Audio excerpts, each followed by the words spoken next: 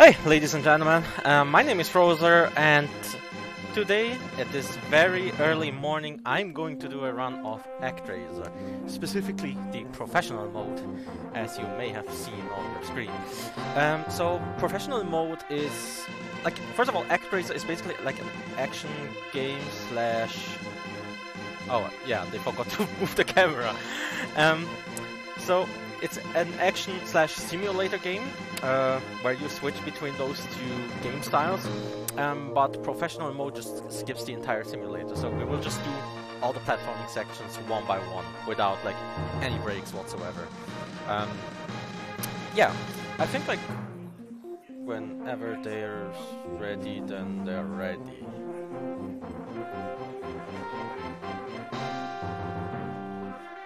Yeah, okay. Still setting up some stuff. Mm-hmm. Alright. Um, I guess we're ready now, right? Alright. Okay, yeah, we can start the countdown in 3, 2, 1, and go.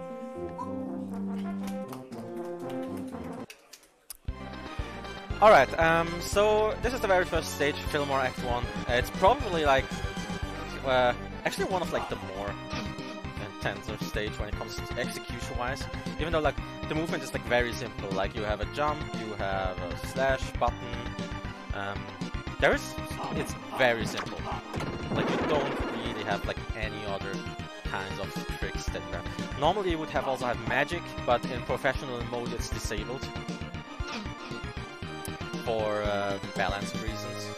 So instead we are just gonna hack and slash our way through the section. And in the beginning, we basically just skip uh, all the mandatory fights. So yeah, this is the Centaur. Um, Centaur, we just basically just damage boost and just use our normal attacks. And it's very simple, alright? It's just move all the way to the left, damage boost through it. Since like you always take two damage no matter what, except for certain obstacles where you just die instantly, or just take one damage. But yeah, Centaur not very special. So Fillmore Act 2, it's the first time where we actually see water, um, and in the water we usually we just walk very slowly. The only exception is if you're... Oh wow, I actually got that trick. I will explain that a little bit further when we get there. So in water you just want either want to jump or you just want to damage boost. Because whenever you take damage, you move like have the normal walk speed. Okay, so this is the first trick that we're going to do. Um, it's some sort of wall clip when you get hit, and you have to press uh, on the wall that you want to cling into, and then just immediately uh, drop your input wherever you want to clip into it. And um, if you do it one frame right after um, you got hit, you will clip into the wall, and then you can just jump upwards and uh, climb all the way to the top. This saves quite a lot of time, because there's like a couple of enemies that you actively have to kill. So, it's a very simple skip, actually, even though it's like almost perfect, I guess. So, um, the Minotaur is very slow. We can just like dodge it by just moving whenever it jumps up. And then get like five hits in, and then, yeah. It's like the boss fights unfortunately like are not super complex besides like one or two of them. But yeah, this is Bloodpool. Um, so Bloodpool is like the very first level where we actually have like insta-death traps, which is like the purple pool down there. It's supposed to be blood, but yeah, I don't think blood, blood is really purple, so yeah. Anyways, um, again here, we don't really care about like the health that we have. We just waltz through to the very end. So this is Manticore. Uh, Manticore, we start up by immediately jumping from one side to another. So we get some couple couple early hits in. And other than that, we just move around with him. And uh, yeah, that was a really good kill, actually. Like this, I think like this is almost perfect. I mean, sure, I could get like one or two extra hits in if I was a little bit faster on the very first hit, but That was really good. Alright, uh, Bloodpool Act 2. Um, now we're in a castle, and uh, like the, the boss in this area is actually in a castle, and it's just waiting for like the master. This is character that we play. Yeah, innovative name, I know, but there is a reason why he's called the master and something else. Anyways, um, so this section, yeah, we have spikes here, but we can purposely, we can just ignore it just fine. There is a trick that where you can skip one of those platforms. I am not going for it because it is a little bit frame dependent, since like you have like different kinds of like frames where you can jump. And depending on what frame you actually jump during your walk animation, you sometimes jump further, and sometimes sometimes you don't even jump. There is, it's very specific, but usually like it's not a big deal in like most areas. Except like one or two tricks where you actually have to hit the right walk frame. Yeah. But luckily we're not going to do that during that run. Most simply because they are like very time consuming if you don't get it. Okay. Didn't get the first quick cycle here, but that's fine. So I grab the apple here just to uh, fill up my HP. So in order to save a little bit of time, I am healing up so that the timer doesn't. So this is uh, Zeppelin Wolf. Um, he has like eight different spawning platforms, and depending on where he lands, he you can either hit him like half until half HP or like just a couple of hits. Here in that case, um, you want him on the on the lower platforms possible. This gives you like enough, barely enough hits to kill him in like two cycles. Unfortunately, I didn't get lucky in the third cycle, so yeah, it's unfortunate. But usually that's probably like the biggest uh, RNG point in the game. So like if you don't, sometimes you just lose runs because you don't get like perfect spawns, and that's the one major flaw this run has when it comes to the RNG department. But other than that, it's just pure execution. Yeah. So this is Kasandora. It's a desert type stage. As you may have noticed, like every area has like a distinctive style of like stage. Um, so these are the two deserts. Kasandora is a desert stage, and then Bloodpool was like the lake, and Fillmore was like a forest and cave. Okay, so I will grab a one-up down there. Just again for safety purposes, since if I lose all of my lives, then the run is over. There is like no password system, there is like no safety measurements that you have to get back to the point where you actually game over it. Again, we conveniently get a get a full heal here, and now this is the worm boss. Um, usually, like the optimal way is to get like seven hits in.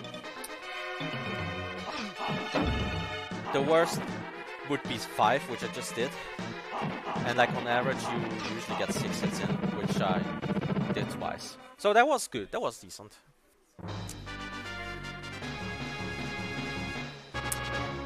But yeah, um, it it looks like a boss from like um, a Star Wars game.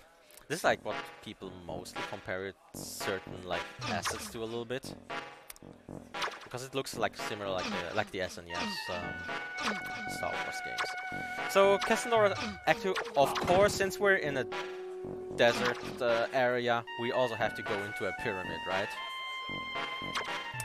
So, this pyramid section, there is a jump that you can do here like you can land on the platform and if you hit the right walk frame and hit at, the, an except uh, specific tile you can actually skip this whole platforming section right there but uh, yeah that's it's I think like it's frame perfect and also it has like it's almost pixel perfect but I am not certain uh, about that to be honest so I would just take like the intended route and um, do some platforming here and there. We also get a HP refill, which is very useful for the upcoming section. Because this is um, a section where we actually have to race against time, because there is a platform coming up which moves all the way up and down to the next area. And if I don't do this section perfectly, I won't be able to get the platform. And this saves quite a lot of time if I get it. But I think I already, yeah, I already messed it up, so I have to wait here. If you did it correctly, like, the platform would be at the spikes right now.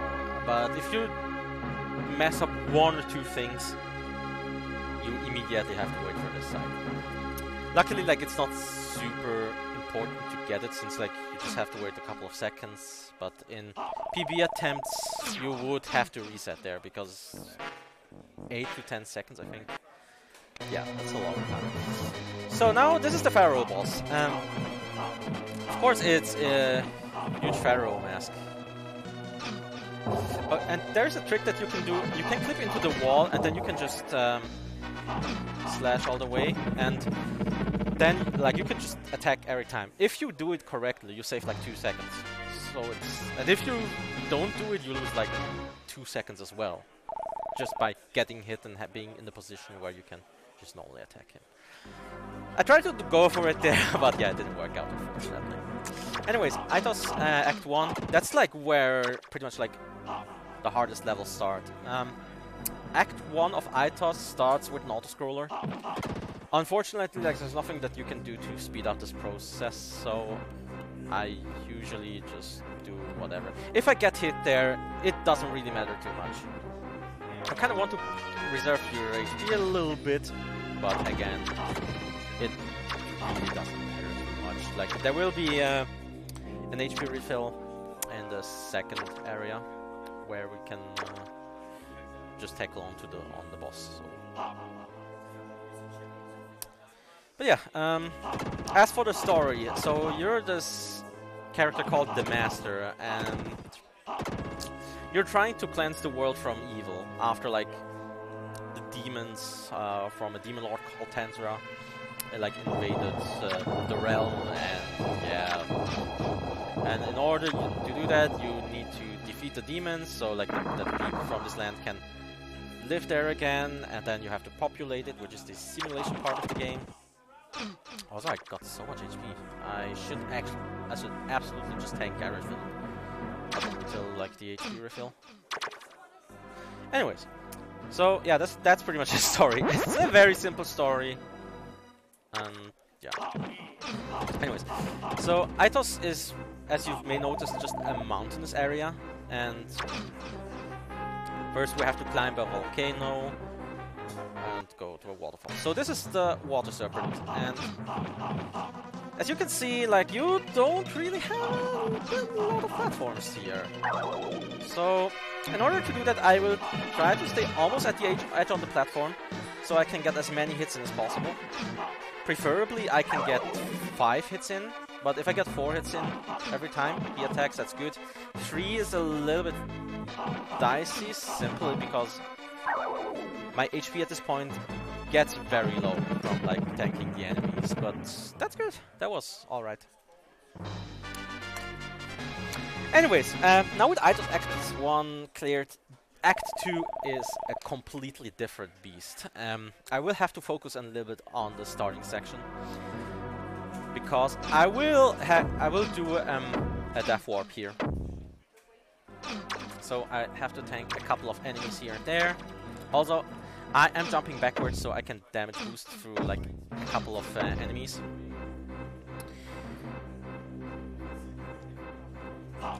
Alright, okay, good. Okay. Okay, so I will take a death here, simply just uh, that I get my HP refilled. And uh, can do this section a little bit faster, otherwise like you would have to uh, kill like all of them. You can skip most of them, but depending on like this little flying thingy, it just gets a little bit annoying. So another damage boost down there, we grab the apple here, and then we go to the fire wheel. Um, that fire wheel boss, luckily, is very simple. Um, he doesn't really pose any threats whatsoever. So we just stand on this platform and swing with our sword a couple of times. And that's it. Like, he really doesn't do anything dangerous. Like most bosses do, to be honest. But yeah, that was pretty much like the hardest stage in the entire game. Um, for me at least. So that I'm glad that like it worked perfectly. Uh, Marahna Act 2 has um, two wall clips that I'm going to attempt. The first one in, is in this area, where um, there is a statue all the way to the right, and he will shoot an arrow. And I have to jump and get hit by the arrow, and I don't know, I'm getting those tricks first try. Usually this one is like one of the harder ones to do, simply because you have to uh, like you have to wait until he turns around. You also have to jump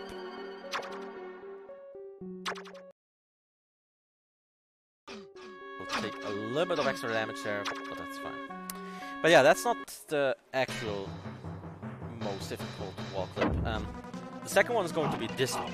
This is Rafflasher. So we just wait until like this green tentacle comes here, and yeah, okay. Usually you just have one shot to do that. If you don't do that, you cannot get clipped into the wall, and then he's a little bit of a pain to deal with. But luckily with some RNG manipulation, by just standing on very specific spots, you doesn't pose any threat whatsoever. That's unfortunate that I didn't get this wall clip, because that one is um, the hardest one, and it also saves like 10 seconds if you get it correctly, since you can just jump upwards to him and then just use uh, your basic attacks to defeat him that way. So Marahna Act 2, that one, you are first in a swamp and then you get into a temple.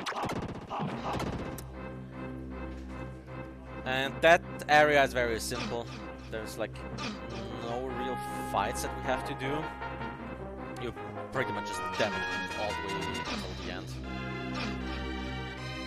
And since like everything deals 2 damage, it doesn't matter. Okay, so I wait here until like this fireball explodes so I can jump over here safely.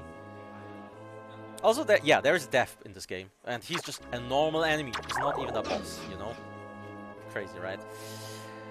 Uh, there is a secret apple there that we're going to grab, and this boss, I don't really remember the name, but... Um, so, what you want to do is you want him to fall all the way down and uh, then attack him like that. Sometimes, whenever you're standing in a very specific position, he does a lightning attack, like that. And that's a bad thing. If he does a lightning attack, we just cannot attack him. And it seems like he just doesn't doesn't want to, to crush me. Okay, that's fine. Especially like you can just defeat this boss with ease. Just having the apple at the end.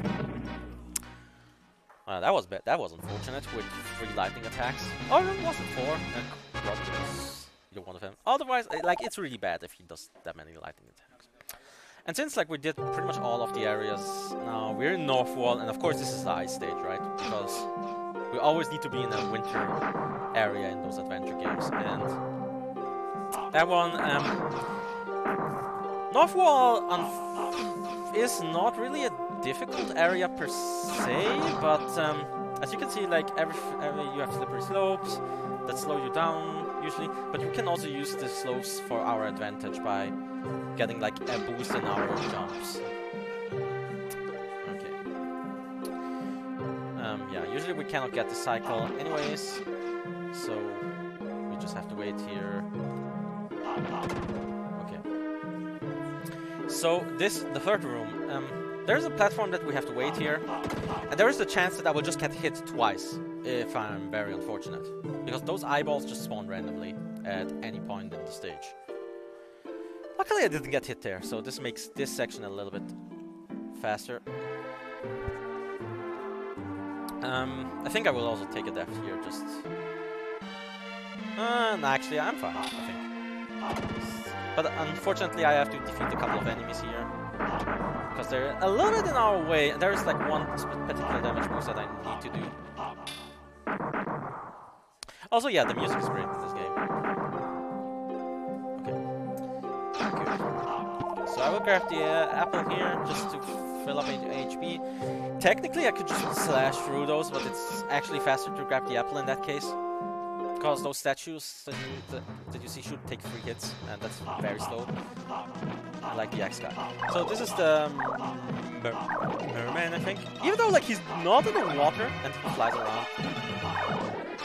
It has this name. Um, so in order to hit them, we actually have to stand on this platform or on those slopes, and we prefer to be on the slopes simply so we can maneuver a little bit easier to the from the right to the left. Now that was a good fight. Usually like two cycles is like the fastest you can do.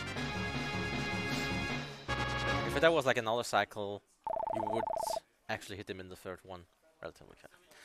So now it comes Northwall, and Northwall has again those eyeballs that spawn randomly, and a bunch of other obstacles that are relatively small. So we just have to try to dodge this, and then there is a wall clip that we can do here. And somehow I got that one first try as well. anyway, so we don't want to get hit by as many eyeballs as possible, but um, if we get hit by one or two of them, unfortunately nothing much that we can do I will play a little bit safe here, because I got hit way too many times by this one next guy. Yeah, okay. That's unfortunate. That's a very costly death, because now I'm all the way to the bottom again, and I have to do the wall clip again. And I thought, like uh, the bird will die in like uh, two hits. And now, of course, I don't do the wall clip properly. And I actually have to do the wall clip here because um, it otherwise, like, you would have to walk all the way around, and that's really annoying. So. And this also means since I got hit way too many times here, I also have to hit a couple enemies here and there.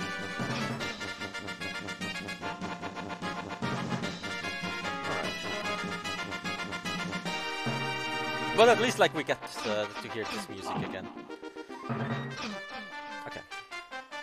So the second part of the big tree is we actually have to jump all the way up, up, and like there's green bubbles that lets you move all the way up, and then there is the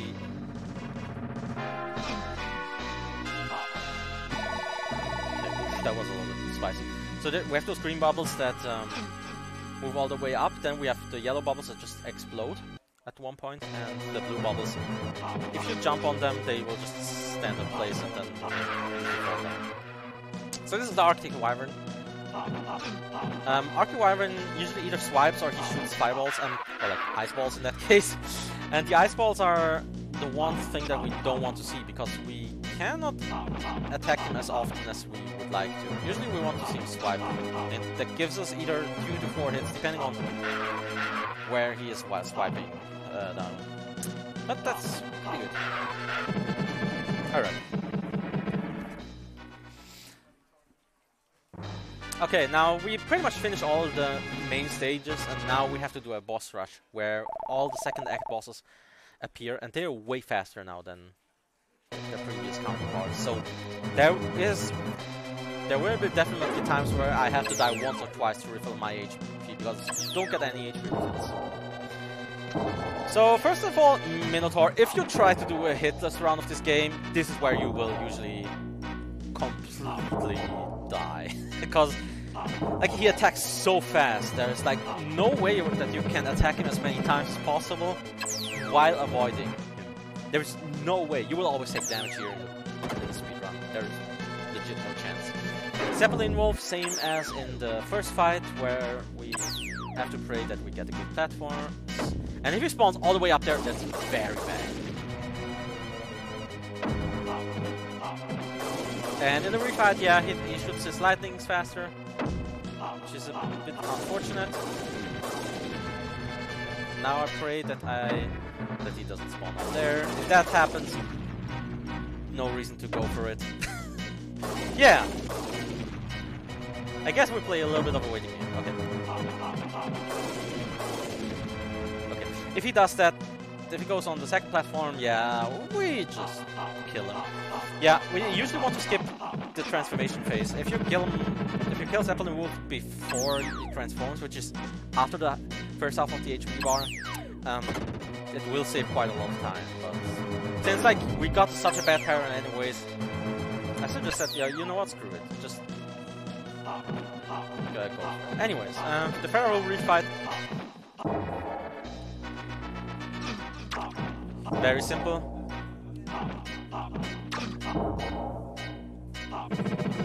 I tried to go for another wall clip here, but yeah, that one again is not super. Now the fire wheel again, he moves way faster than in the actual fight, so so we all have to be a little bit careful. And also his bullets much faster, but again, he's not really a threat.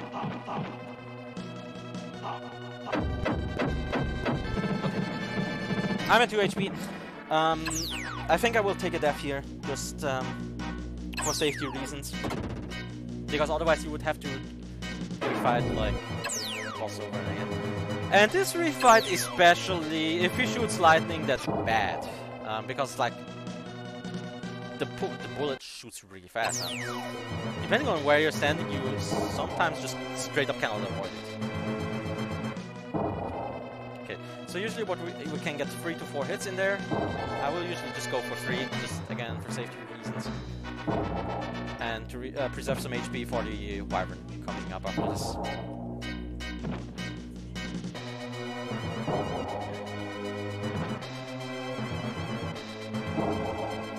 I could have gone for another one. But again, just doing it for safety The Arctic Wyvern, um, not only is he faster, but he like also has like the ice balls that he shoots. Um, like whenever you hit this floor, there's like a, some like ice blocks that are also spreading around. It has a way further hitbox than it's supposed to be, so you, whenever he does that, you really want to stay behind him. And usually you, since like he's faster, you, usually just get three hits in.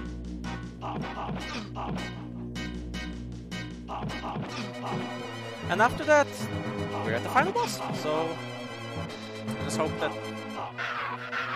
he gives us a good pattern here at the end. Um, I can just skip this because usually this is not a really big threat. But I will try. Nah, I will just I will just stop here and um, get some HP back. And of course, he all of these uh, fireballs just go all the way to the right. You usually want to if you have enough. Anyways, so for the first phase there's just a floating head, and now our attack actually shoots a shoots a beam, which is nice. Because this makes it a little bit less painful to actually go to him. Because otherwise you would have to jump uh, jump over him. Anyways. Again, same here. So what you what what uh, this cycle is always the same, where where he swipes down, uh, shoots three bullets, uh, shoots a big laser, spawns those pellets, and you can hit both of those pellets at the same time, which makes it a little bit less painful for for uh, attacking while his arm is open. But yeah, uh, that's the final boss, and um, get ready on time.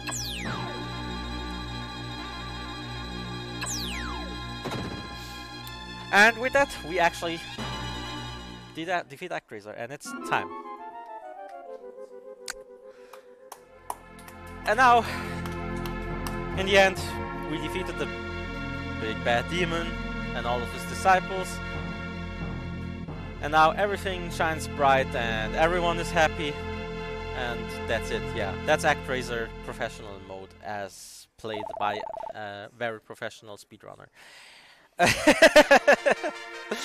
Anyways, uh, instead of like the story where you see like how like cities are developing and what you have done, it just shows the credits and that's pretty much it at the end. There's like nothing special that can happen at the end.